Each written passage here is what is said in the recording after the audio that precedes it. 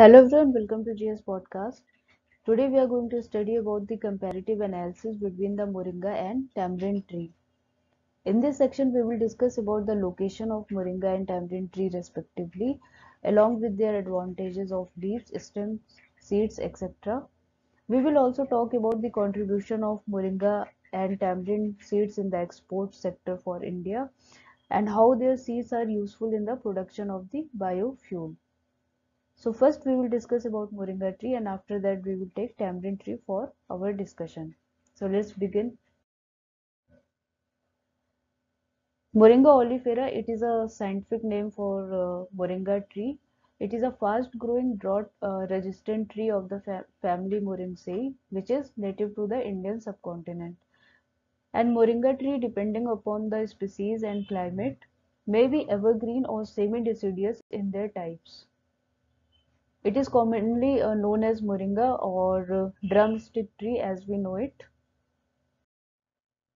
Now let's see some of the advantages of moringa tree.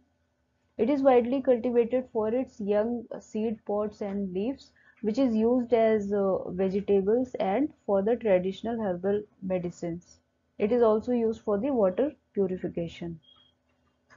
Moringa oleifera contain essential amino acids, carotenoids in their leaves and components with nutraceutical properties which support the idea of using this plant as a nutritional supplement or constituent in food preparations.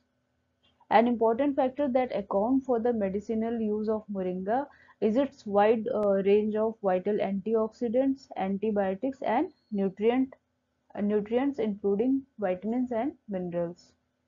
And we can say that almost all part of the moringa can be used as a source of nutrition. So these are some of the advantage of moringa tree. Now let's uh, understand the contribution of moringa in the export sector. Moringa has been in great demand in many countries. The major countries that import moringa leaves and seeds are the US, Germany, China, Canada, South Korea and the other European countries, especially the UK, Italy, France, Netherlands and Spain. And India has managed to hold a dominant position in the moringa market for its exports. It accounts for almost 80% of the total production of moringa leaves and seed which help in fetching crores of foreign exchange for the country. So moringa is in high demand in other countries. Now let's see how moringa seeds uh, seed oil is useful in the production of biofuel. Moringa seed oil has favorable characteristic for its use as biofuel because moringa seed oil exhibit a high exhibit a high oxidative stability and its thermal stability exceeds other oil crops like sunflower oil and soybean oil. So that's the reason it can be used as a biofuel.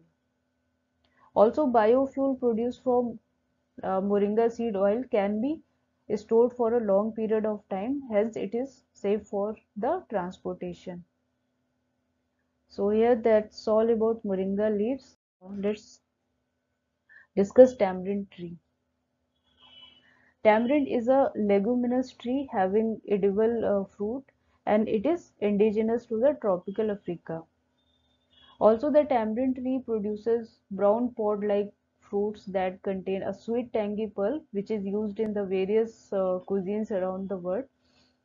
Tamarind seed is highly nutritious and contains up to 17 to 20 percent protein. Also, a chemical called as pectin is extracted from the uh, seed and it can be added in bakery products like bread, biscuits, jam and jelly etc. Now let's uh, talk about its export.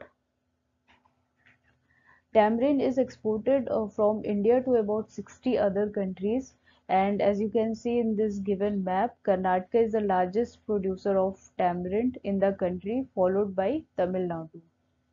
Also 18% production of tamarind comes from Kerala.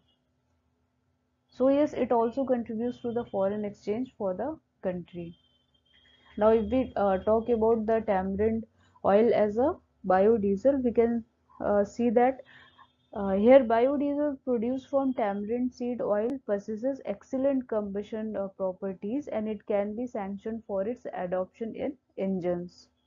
Moreover, the tamarind seed uh, oil uh, moreover the tamarind seed oil biodiesel is environmental friendly and can contribute in the in the reduction of carbon emission when used as a engine fuel.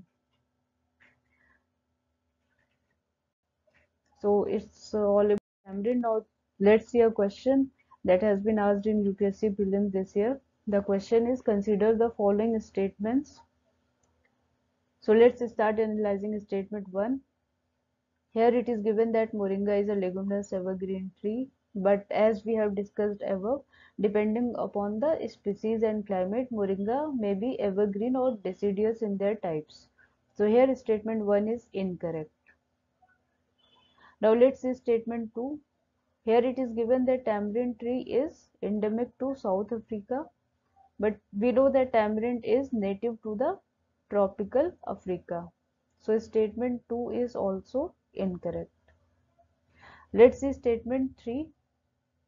Here tamarind is uh, classified as minor forest produce. Yes, and it is also covered under the minimum support price scheme. So statement 3 is correct one. Now let's see statement 4. As we have discussed, India is the largest producer and exporter of moringa and tamarind seeds.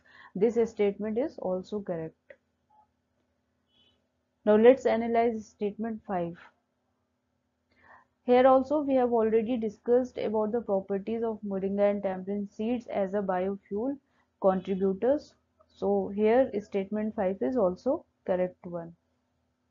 So the right answer is option B.